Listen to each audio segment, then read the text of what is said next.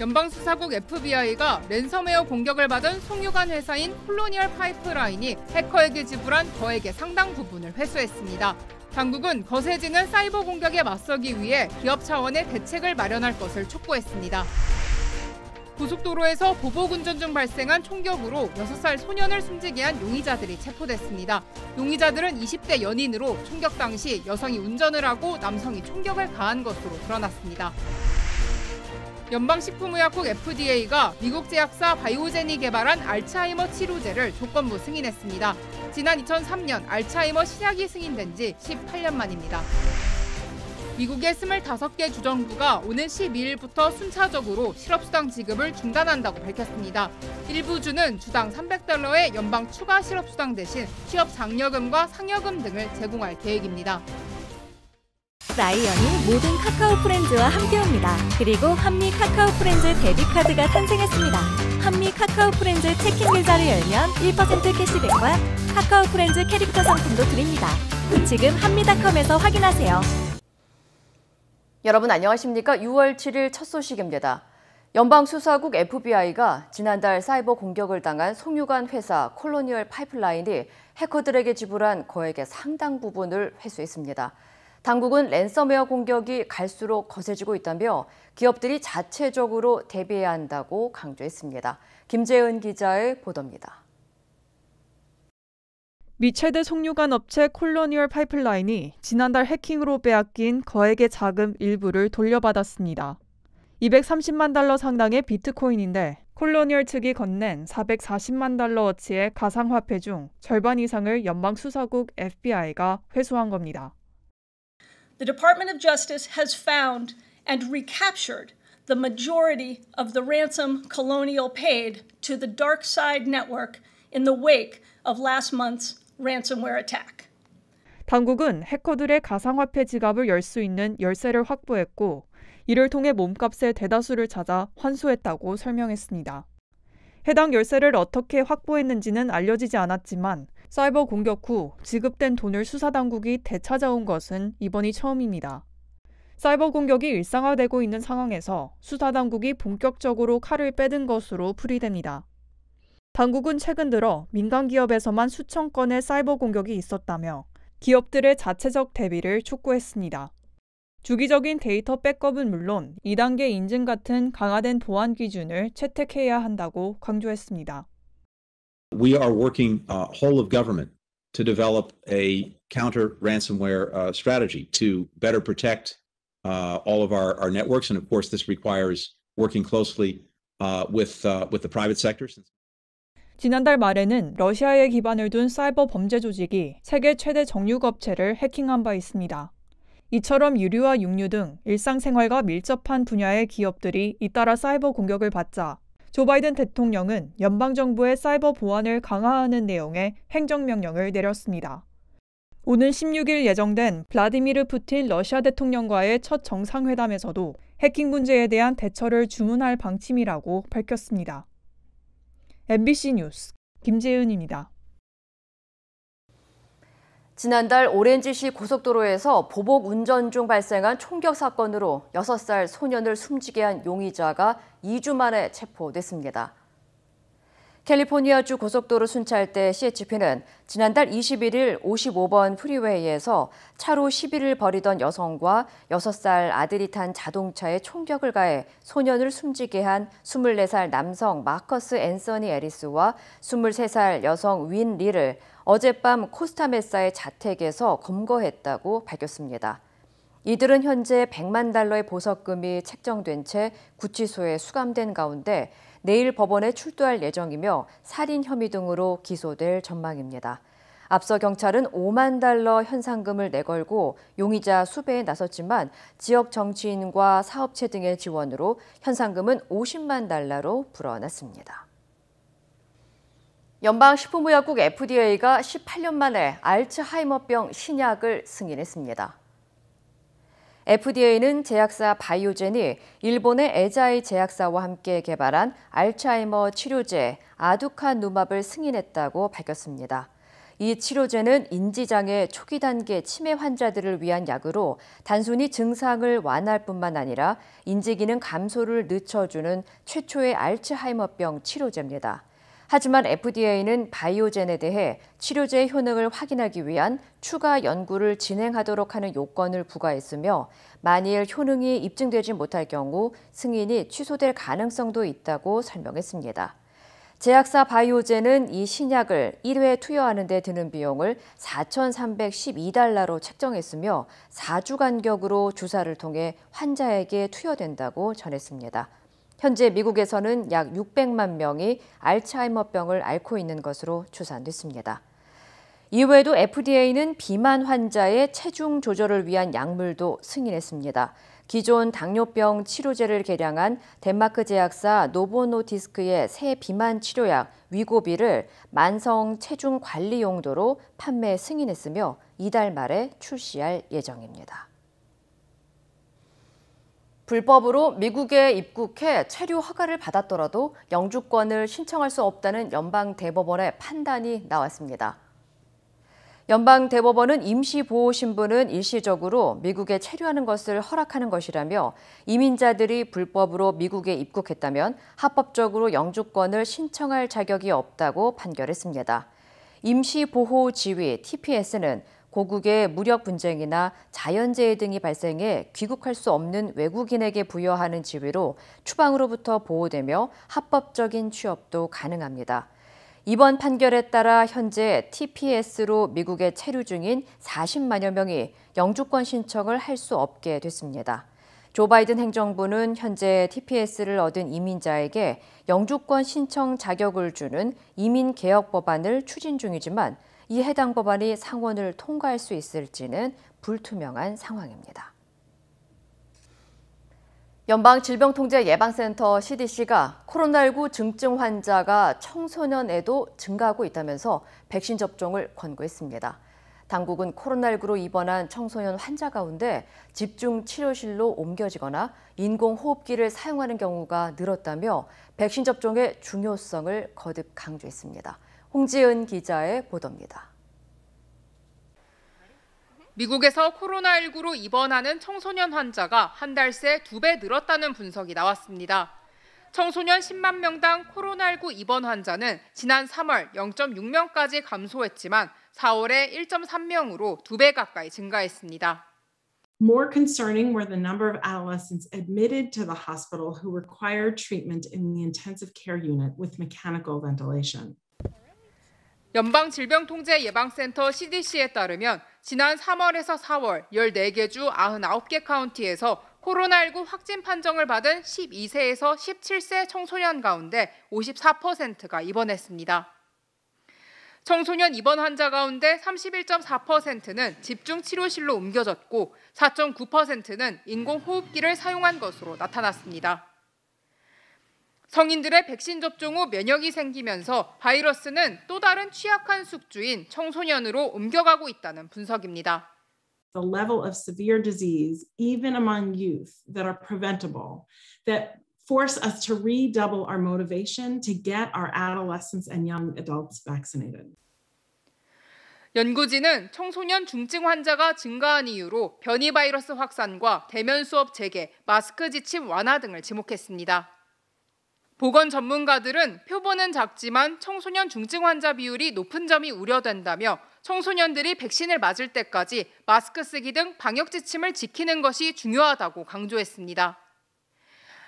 지난달 CDC는 백신 접종자들에 대해 실외뿐만 아니라 실내에서도 마스크를 벗어도 된다고 밝혔지만 학교에서는 마스크 착용을 의무화하고 있습니다. MBC 뉴스 홍지은입니다. LA 일대가 공작새 개체 급증으로 몸살을 앓고 있습니다. 주류 언론에 따르면 최근 팬데믹 동안 페사디나와 렌초 팔러스 버디스 등 LA 일대의 공작새 개체 수가 급격히 늘어 주민들에게 피해를 주고 있는 것으로 나타났습니다. LA 카운티 당국은 지난해 조류에 발생하는 뉴 캐슬병 바이러스 탓에 캘리포니아 가금류 산업이 멈췄고 팬데믹으로 공작새들을 가금류 농장으로 보내는 작업이 중단되면서 개체 수가 급격히 증가했다고 설명했습니다. 이에 따라 LA 카운티 슈퍼바이저 위원회는 늘어나는 공작새 개체 수를 조절하기 위해 공작새들에게 먹이를 주는 행위를 금지하는 조례안을 표결에 붙인다고 밝혔습니다. 조례안이 통과될 경우 위반자는 1,000달러의 벌금형이나 6개월의 징역형에 처할 수 있습니다. 미국의 25개 주에서 연방 실업수당 프로그램이 조기 종료되고 있습니다. 오늘 12일부터 알래스카와 아이오와, 미시시피, 미주리주를 시작으로 모두 25개 주가 주당 300달러씩 지급되는 연방 실업수당 지급을 조기 중단하기로 했습니다. 지난 3월 시행된 미국 구조 계획 법안은 주당 300달러의 연방 실업수당을 9월 6일까지 지급하라고 규정하고 있으며 원하는 주정부는 6월 12일부터 실업수당 지급을 중단할 수 있다는 조항이 포함됐습니다. 연방 실업수당 조기 중단을 선언한 주정부는 모두 공화당 주지사가 재임하고 있으며 실업수당 장기 지급이 경제 정상화를 막고 있다고 주장했습니다. 한편 애리조나와 몬테나, 뉴햄프셔, 오클라호마 등 일부 주는 실업수당 지급을 중단하는 대신 취업 장려금과 상여금 등을 제공한다고 전했습니다. 연방국세청 IRS가 실업수당에 대해 납부한 초과 세금 환급을 시작할 예정입니다. IRS는 만 200달러 소득공제 시행 이전에 세금 보고를 완료한 납세자에 대한 환급을 진행하고 있다고 밝혔습니다. 이번 주에 280만 달러 이상의 환급금이 지급될 예정이며 계좌 이체를 통해 직접 입금하거나 우편으로 체크를 발송할 계획이라고 전했습니다. 앞서 지난 3월 시행된 3차 경기부양법에 따라 지난해 실업수당 수령자는 최대 만 200달러까지 면세 혜택을 받을 수 있게 됐습니다. IRS는 비과세 적용을 자동으로 처리한다며 이미 세금 보고를 마친 납세자는 별도의 조치가 요구되지 않지만 실업수당 공제 후 근로소득 세금 크레딧과 추가 자녀 세금 크레딧 등의 연방 세제 수혜 자격이 새로 생긴 납세자는 수정 보고를 해야 한다고 설명했습니다. 캘리포니아주의 유명 해변에서 라임병을 옮기는 진드기가 발견돼 주의가 요구되고 있습니다.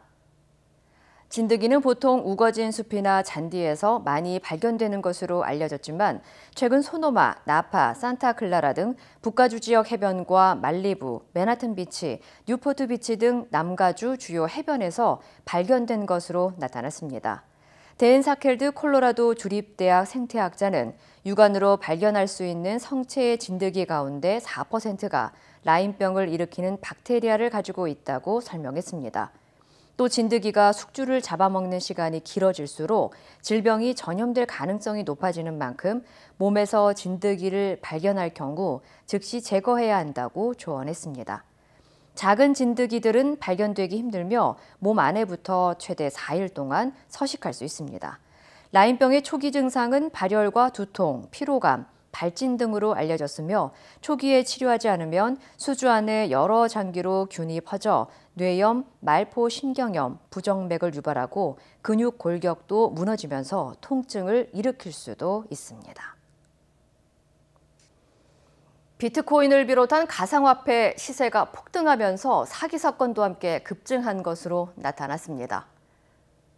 월스트리트저널은 연방거래위원회 자료를 인용해 지난해 4분기부터 올해 1분기까지 가상화폐 사기로 인한 소비자 피해액이 8,200만 달러에 육박했다고 보도했습니다.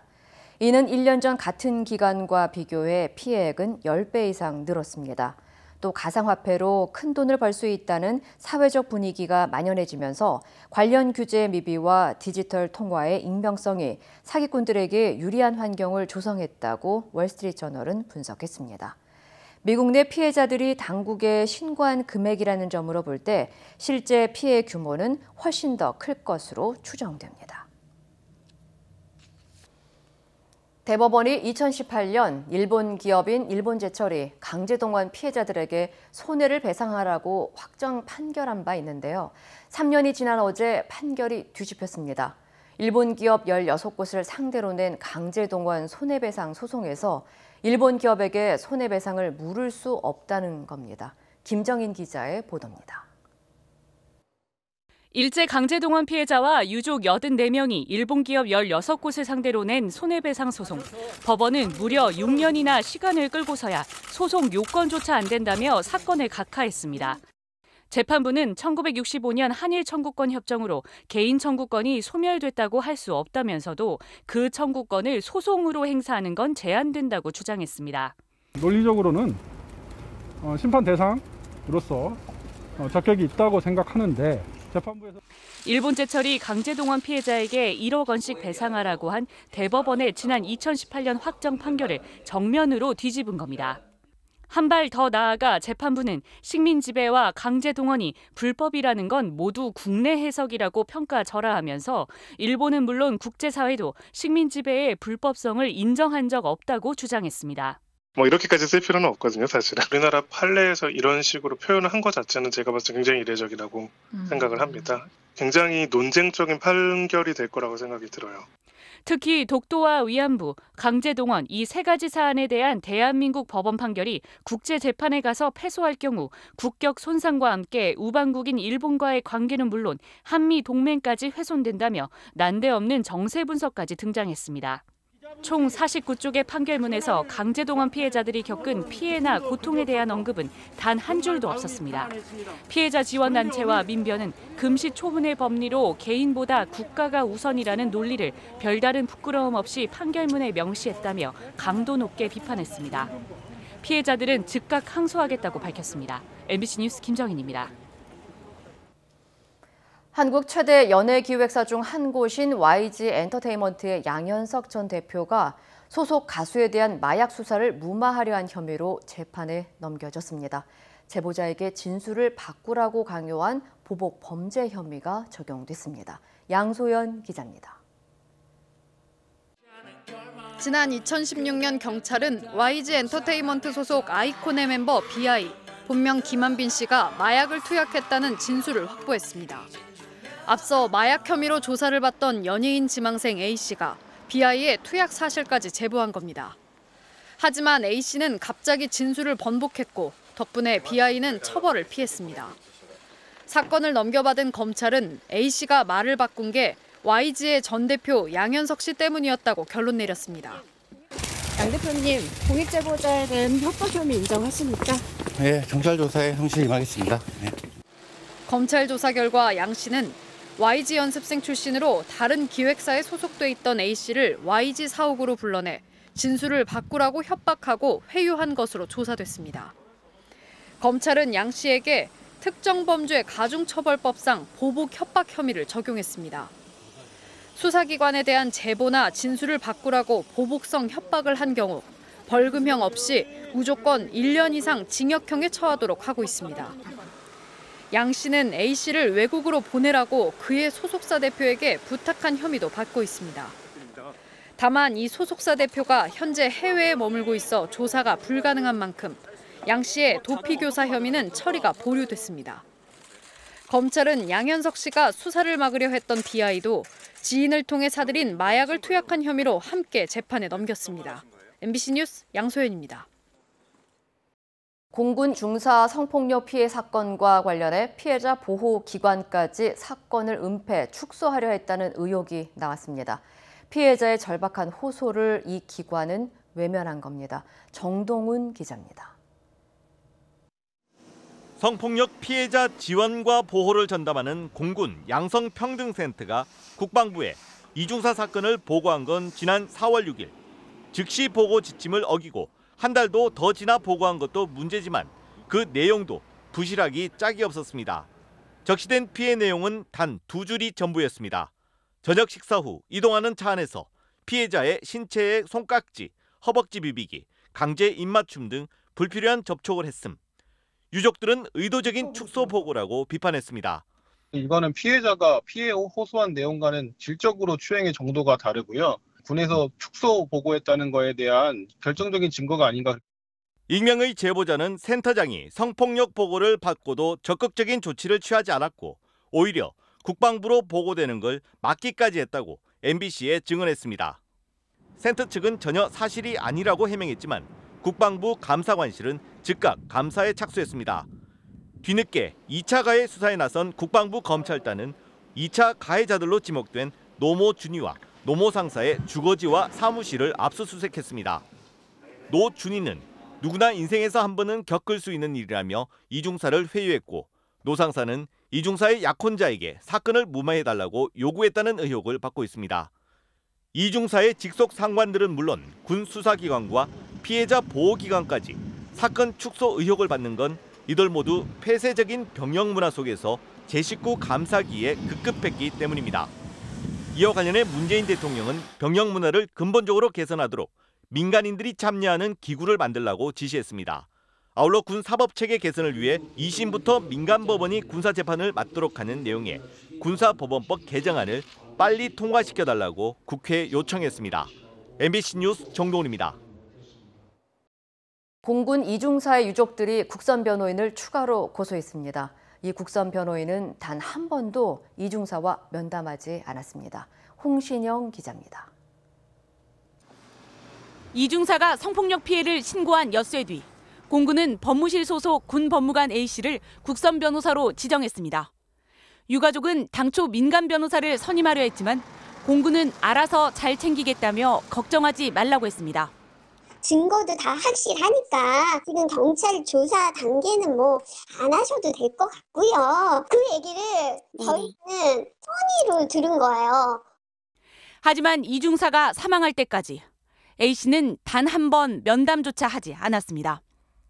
사건을 맡은 지 50일이 지난 4월 27일 처음으로 전화만 했습니다. 그것도 자신의 결혼식 때문에 군 검찰의 피해자 조사에 함께 가지 못한다는 통보였습니다. MBC가 확보한 이중사 남편의 진술서에는 A씨가 항상 수동적인 태도로 변호에 임했고 이중사의 사망을 인지한 뒤에도 연락하지 않았다고 되어 있습니다. A씨가 속해 있는 공군본부 법무실의 구성상 이 같은 행태는 당연하다는 지적이 나옵니다. 공군 군 법무관 5명 가운데 3명은 가해 군인을, 2명은 피해 군인을 변호합니다. 그런데 군 법원도, 군 검찰도 같은 법무실 소속입니다. 피고를 상대하는 검사나 이 사람 변호하는 변호사나 둘이 책상만 다를 뿐 같은 사무실에서 제대로 된 도움을 받을 수 있을까라는 것에 의구심이 들 수밖에 없는 것이죠. 게다가 공군 홈페이지엔 법무실의 주요 역할을 참모총장 보좌로 적어놨습니다. 공군 조직에 해를 끼칠지 모르는 피해자 지원은 소홀할 수밖에 없는 겁니다. 국방부 규정에는 피해자가 여성인 경우 국선 변호사를 우선 배정하고 여성 변호사가 없으면 예산을 활용해 민간 변호사를 선임할 수 있지만 공군은 이를 지키지 않았고 이중사는 안내조차 받지 못했습니다. 유족 측은 국선 변호사 A씨에 대해 직무유기 외에도 묵과할 수 없는 다른 혐의가 있다며 국방부 검찰단에 고소장을 제출했습니다. MBC 뉴스 홍신영입니다. 한편 고소장을 입수해서 확인해 봤더니 심각한 2차 가해 사실이 드러났습니다. 이중사의 사진과 신상 같은 개인정보가 돌았고 외모 평가는 물론 유족까지 비하했다는 증언이 나왔습니다. 신재웅 기자입니다. 유가족이 제출한 고소장에는 국선 변호인의 성폭력 특례법 위반 혐의가 적혀 있습니다. 피해자가 성폭력 피해로 인해 고통스러워하다 결국 극단적 선택을 한 이후 지인들에게 피해자를 특정하여 파악할 수 있게 하는 인적 사항을 누설하는 범행을 저질렀다는 것. 유가족들은 국선 변호인이 피해자 보호 조치만 소홀했던 게 아니라 주변 지인들에게 이중사의 신상 정보까지 알려줬다고 주장했습니다.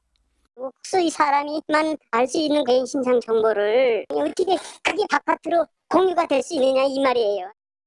MBC 취재 결과 이중사의 신상 정보는 이미 광범위하게 공군 외부에까지 유출된 것으로 확인됐습니다. 법조계에 몸담고 있는 A 씨는 이중사가 성추행 피해를 입은 뒤 공군본부 법무실 내부로부터 관련 내용을 들었다고 밝혔습니다. 이름과 소속 부대, 임관 기수는 물론 어떤 식으로 피해를 당했는지 심지어 사진까지 돌아다녔다고 했습니다.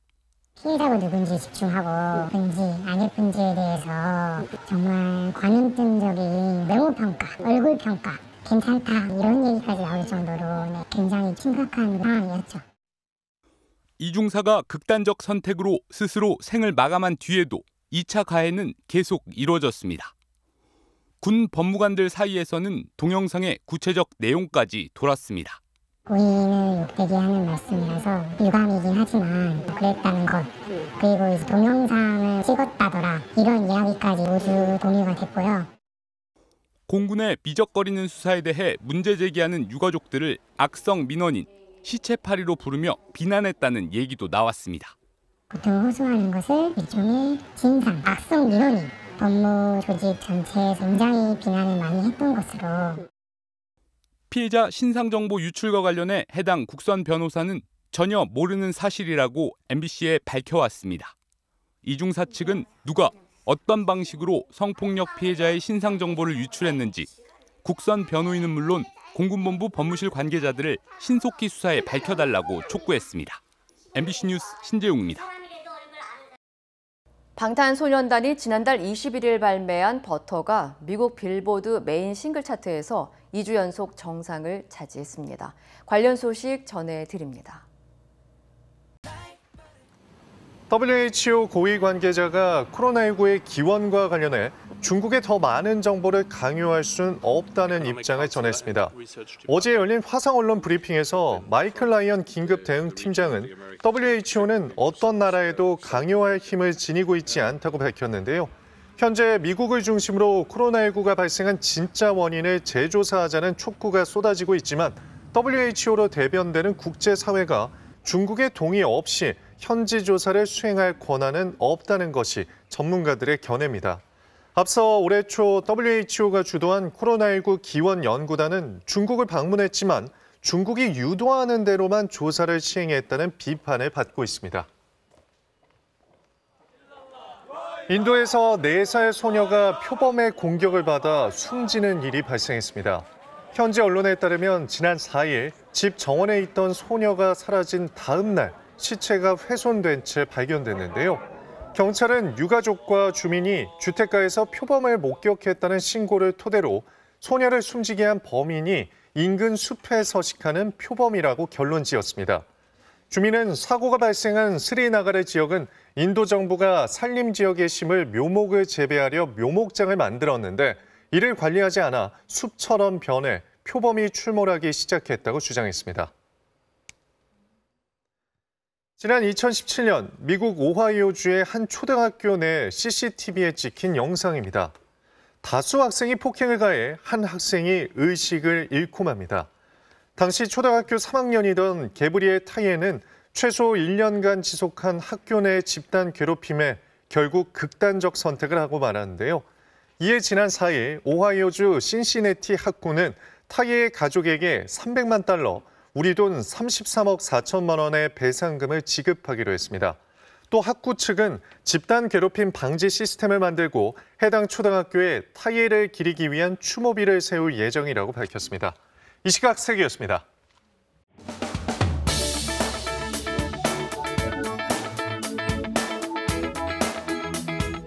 아, 지금 보시는 자판기 그냥 흔한 음료 자판기가 아니라 맥주나 소주 같은 술이 들어있는데 규제 샌드박스, 규제 완화로 이달 말부터 일부 편의점에서 시범 운영된다는데요. 아, 고객들 반응 들어볼까요? 뭐 나쁠 건 없지 않을까. 근데 다만 이제 미성년자에 대한 뭔가 그런 게 좀 필요하겠죠. 예, 그런 규제라고 할 것까지는 없고 일단 뭔가 장치가 필요하겠죠. 고객이 성인 인증을 거쳐 받은 QR코드를 자판기에 대면 술이 판매됩니다. 점원이 손님의 성인 여부를 일일이 대면 확인하지 않게 된 건데 한시적으로 기존 규제를 면제해주는 규제 샌드박스를 통해 이달 말부터 편의점과 슈퍼마켓에서 이런 주류 자판기를 운영할 수 있게 됐습니다. 이미 올해 초 일반 음식점에 도입된 주류 자동 판매기가 확대 적용되는 건데 무인점포 운영자나 편의점 업체들은 인건비 절감과 더불어 24시간 주류 판매가 가능해지면서 당기고 있습니다. 하지만 비대면 QR 인증 시스템이 미성년자의 신분증 도용을 원천적으로 차단할 수 있을지에 대한 우려도 여전히 공존하고 있고요. 업계는 일단 실증 기간을 충분히 거친 뒤에 주류 자판기 정식 도입을 검토하겠다는 입장입니다. 자, 요즘 술 부쩍, 어, 술, 부쩍 술 관련 이슈들이 많이 눈에 띄는데요. 어, 과도한 음주를 막기 위해서 이런 기기에 음주 측정기 같은 거 부착이 안 될지 모르겠습니다. 자, 다음 소식은요. 요즘 시니어 모델, active senior, 시니어층의 활발한 경제 활동 계속 전해드리고 있는데 할머니의 입맛까지도 밀레니얼 세대를 사로잡았다고 합니다. 어떤 내용인지 보시죠. 푸드 트렌드는 어떤가요, 방향이? 요즘에 할매니얼이라고 신조어가 생길 만큼 할매니얼? 네, 할매 입맛이랑 밀레니얼 세대가 합해서 불려서 인절미와 치킨의 어색한 조화. 하지만 MBC 예능에 출연한 판정단 모두가 이 맛에 반했다고 합니다. 이른바 할매니얼로 불리는 음식인데 할머니들의 입맛이 젊은 밀레니얼 세대에도 통한다는 뜻이랍니다. 아, 할메니얼 바람은 실제로 식료품 업계 신제품에도 그대로 반영되고 있다는데요. 유명 팥 아이스크림은 단 호박과 인절미, 흑임자 같은 노년층이 선호하던 맛을 추가해 선보였고요. 마시멜로가 기본이던 파이에는 인절미와 팥이 대신 들어갔다고 합니다. 대형 커피 전문점들도 현미와 검정콩, 검은 깨를 넣은 음료를 다시 출시했는데 기능성 건강식을 강조했던 기존 마케팅보다 할머니 입맛을 부각시킨 요즘이 더 좋은 실적을 올리고 있다고 합니다.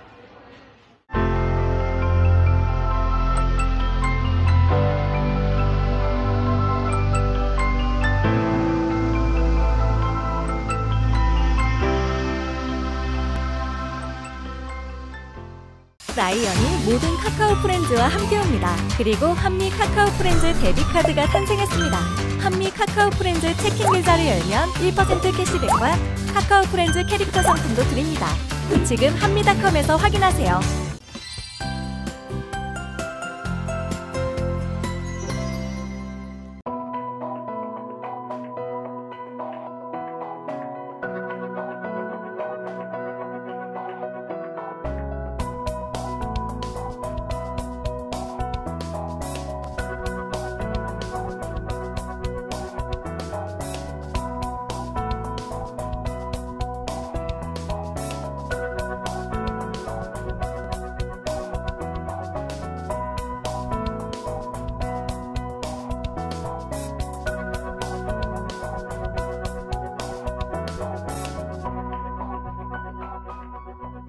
이상으로 6월 7일 월요일 뉴스를 마칩니다. 시청해주신 여러분 고맙습니다.